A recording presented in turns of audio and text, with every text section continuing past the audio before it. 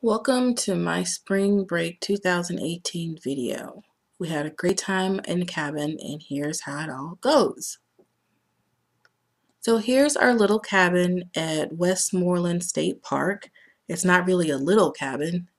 It has a little deck on the outside, which we didn't really spend a whole lot of time there. It was a little chilly outside. This is our indoor porch that I absolutely love. Those rocking chairs are great. However, I think Margie was a little confused about how she could be outside but not really be outside. Inside, it has what I call dorm furniture, but it's very nice. You have everything you need there. It's very spacious. The place that we had actually could have fit a lot more people than just us. And there's Margie looking confused. She doesn't know if this is our new house or what.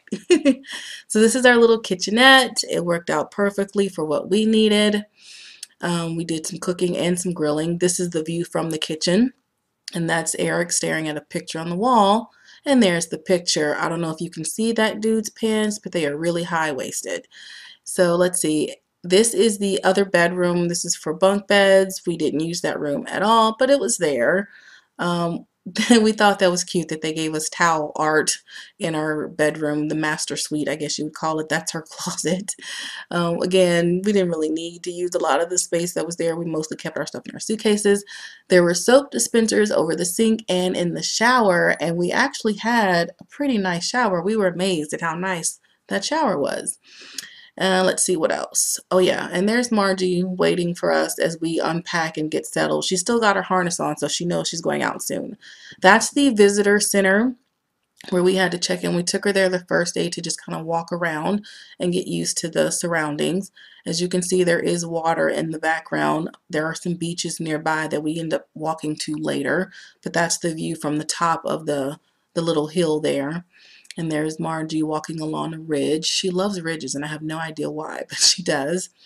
And that's her after day one, conked out on the couch, and she pretty much spent all her evenings on the couch. The next day, this is us getting ready to go down to Fossil Beach. This is our first trail, and there's a little swamp that we passed on the way. And then um, the next picture, yes, there's the, the boardwalk. You can walk around the swamp a little bit on the boardwalk. Margie loves boardwalks. We don't know why. There's more of the swamp. And here is, I think coming up next is an overlook. Yes, there's Margie at the top of the overlook, which she loves going up and down steps um, outside, but not in the house. We don't know what that's about either. And um, so these are just, this is what it looks like from the overlook. That's one corner. And um, the other corner is pretty much the same. There I am finally in the picture. And I think the next one is me and Margie. Yes, there we are hanging out at the top of the overlook in the swamp. She really enjoyed that. Um, we didn't spend that much time at the beach because there was another dog that was kind of upset. Um, but we, we supposedly can find like shark's teeth and stuff there, but we didn't really have time to look around. On the way back to the cabin, Margie looked so sad, but we still had more planned for the day. It was time for us to decorate our Easter eggs because this was on Easter Sunday. And so um, we decided to use Sharpie markers because we had brown eggs. We get them from our our um, neighborhood farm. So that's, you know, it's going to be kind of hard to dye them um, because they're brown. So we use the Sharpies. And um, we were both working diligently. I decorated two eggs. Eric decorated one because he was mostly trying to appease Margie because she wanted to know when she was going to get an egg. And that's coming up a little bit later. And so he designed a He-Man egg, which I thought his design was really cool. But again, you know, Eric has a degree in art and I don't. So of course his egg looked amazing. Um, yeah, that's his little He-Man design. So we have the pictures to remember how well he did decorating his egg. And I did a little Easter scene, which I thought was kind of cool. Well, a spring scene. Um, their sun, a cloud. Then I did another egg um, for me and Eric. Um, it's not our anniversary right now, but it will be at the end of the month. We'll be married for 13 years, so I thought that was pretty significant. So I did a stick and Toi egg. That's his nickname if you don't know. And let's see. Um, after that, I think we took a bit of a break. We were going to um, hide the eggs so that Margie could find them later. So I think we go to the beach next. Yes, we took Margie to the beach. And remember, this is all happening in one day. The first day was kind of mellow. This is day two.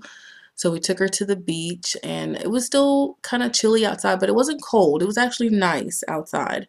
And Margie absolutely loved the beach. We didn't know how she would respond to actually being on a real beach, but she seemed to like it. Um, she kept trying to halfway dig up stuff. She would find something, pee on it, and then run away from it. um, these are some rocks that I thought were very pretty, but also looked a little dangerous. I refused to get on them. But of course, um, I think Eric and Margie would get on them later. Here's another boardwalk. So we had to go on the boardwalk because Margie loves boardwalks. And let's see what else is coming up. Oh, that there, yep, there they are on the rocks. I was so nervous because I was afraid her little paw would get stuck in one of those holes. And I think she was a little scared too, but because Eric was with her, she, you know, she did it like a champ. It was no big deal, but I was nervous.